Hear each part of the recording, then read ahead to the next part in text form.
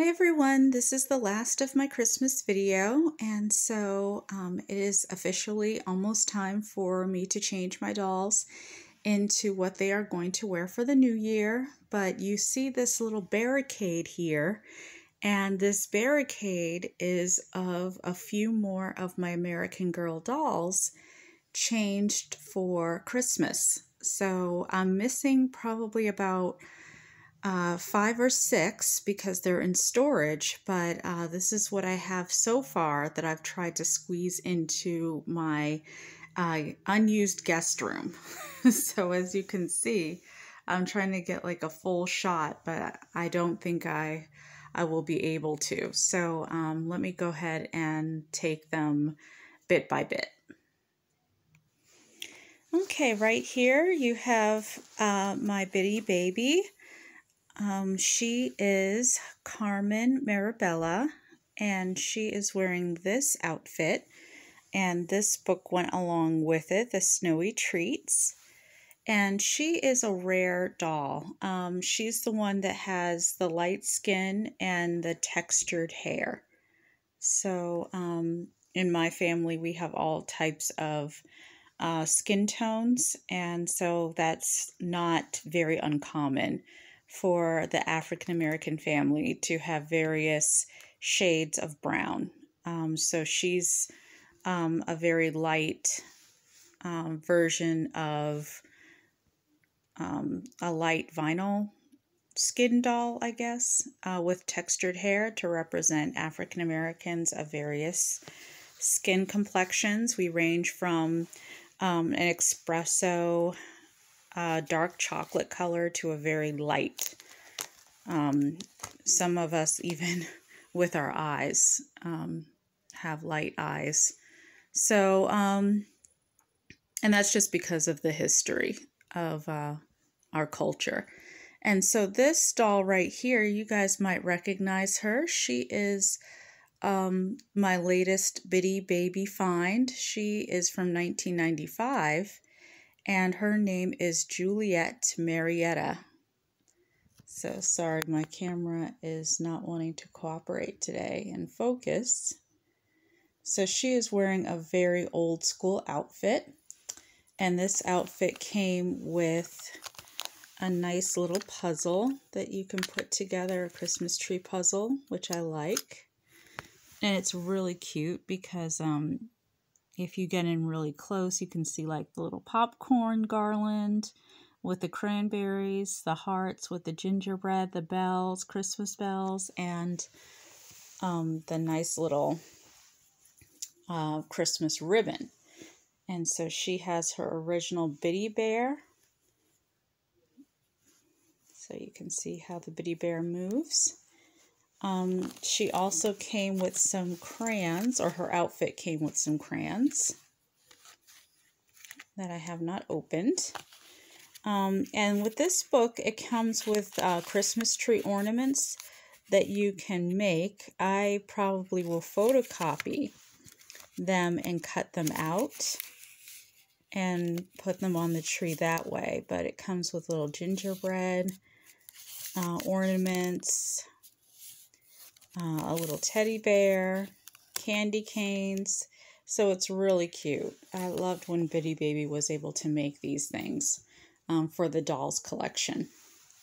All right, speaking of dolls, here's another doll, um, and her outfit came with this little doodad, uh, this little nutcracker, and some nutcracker tickets, and she too is sporting um, a Christmas outfit that's similar to the Bitty Babies outfit. So that year was, I believe, around 2012 that they sold this outfit. And uh, her name is um, Michelle Hazel Olivia Bianca. Or I feel like she looks like an Olivia, she looks like a Hazel.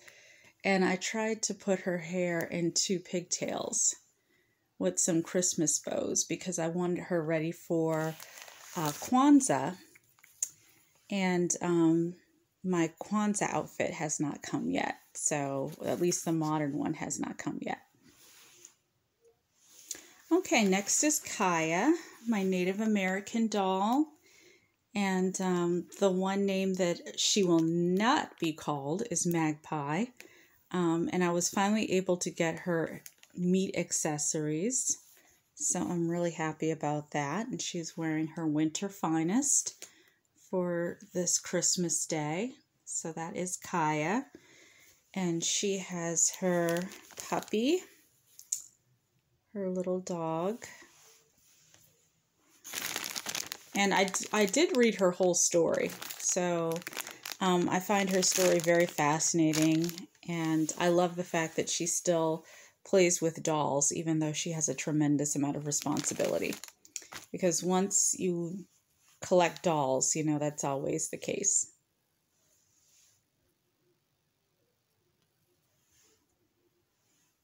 Sorry about that, guys. I had a call coming in. Okay. This is Addie. And there she is in her beautiful outfit. And this is Be Forever Addie.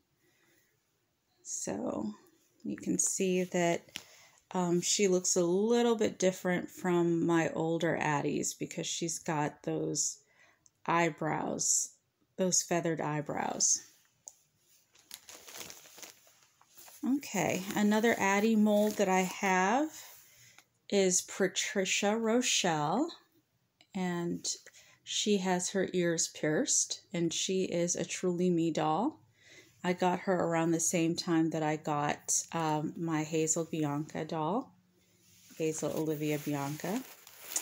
Um, this is a My AG doll, and her name is Holland Cornelia. She is a number 58. And I got her when she first came out, so you can see that her wig is nice and full. She's got a really full wig, and um, her features are of the of an older um, Pleasant Company kind of like doll because again I got her when she was first run. She was one of the first original dolls uh, for 58 and this is her outfit, her holiday outfit. And I think this really looks good on her. Okay, uh, there's Gabby. And here is um, my Ida Bean doll that goes with my other Addie. Uh, this Addie I got around the time that my grandmother passed away. And my grandmother, believe it or not, her name was Addie. Uh, she was named after her grandmother.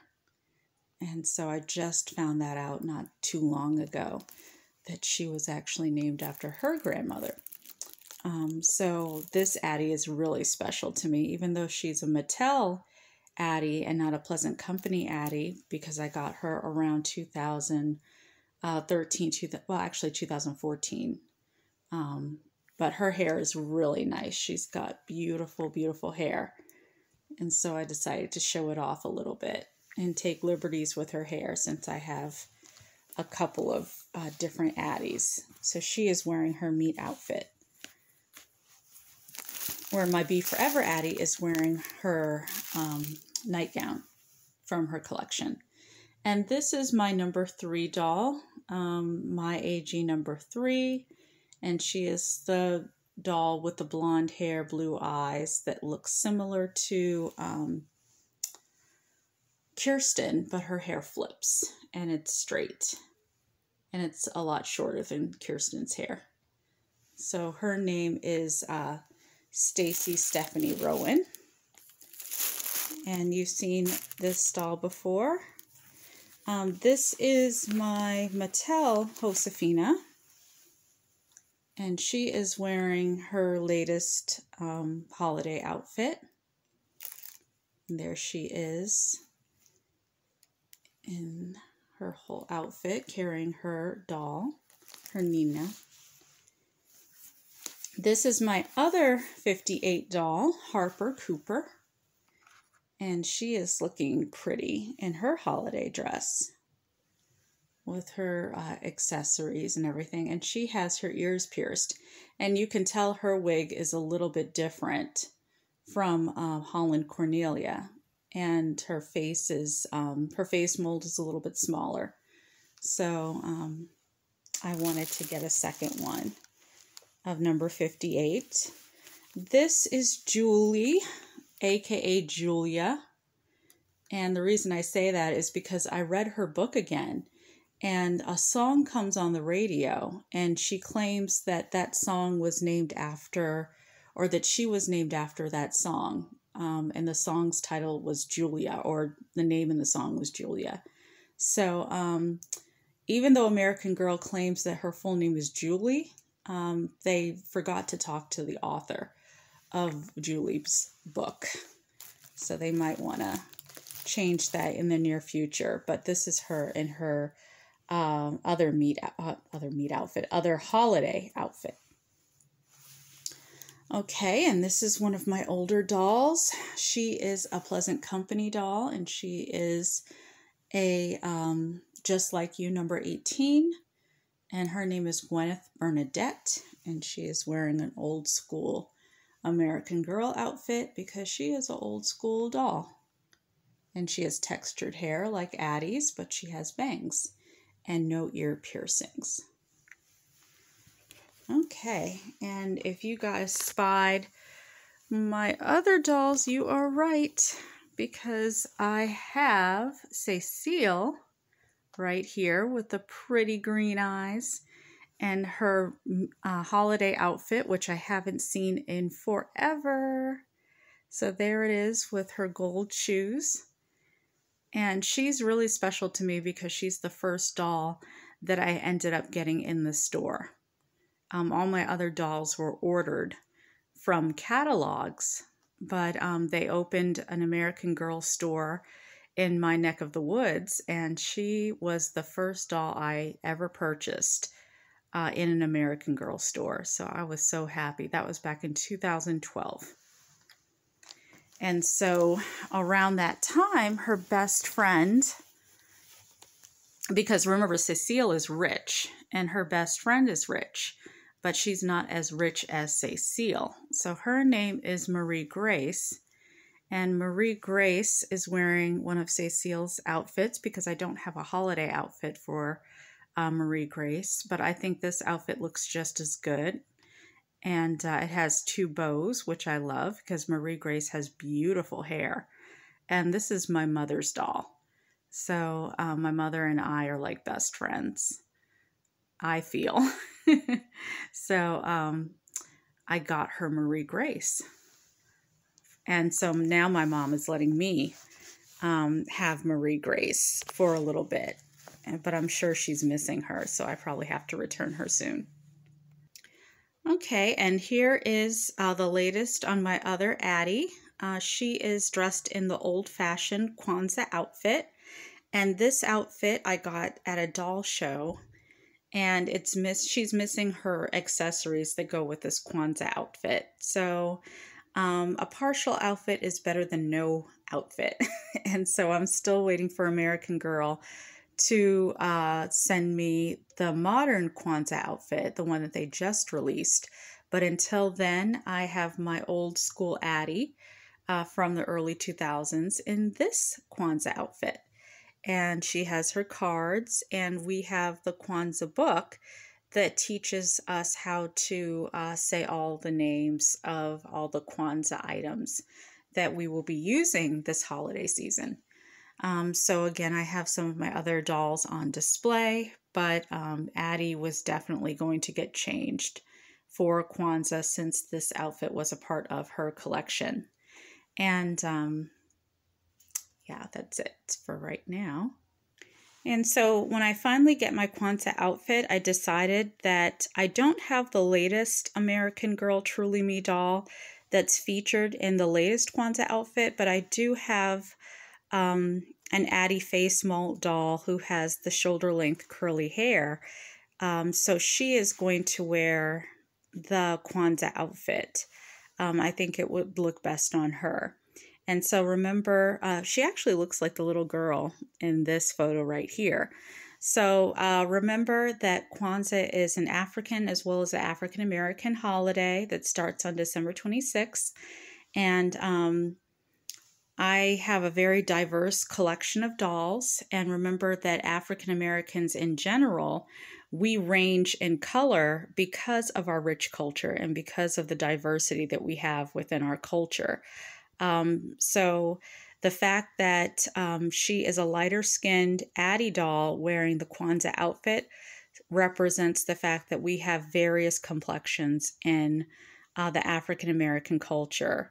And so um, that's something that still needs to be said to this day uh, because our families, as we welcome in other cultures into our blended and mixed families, we also have children who are of various skin tones as well.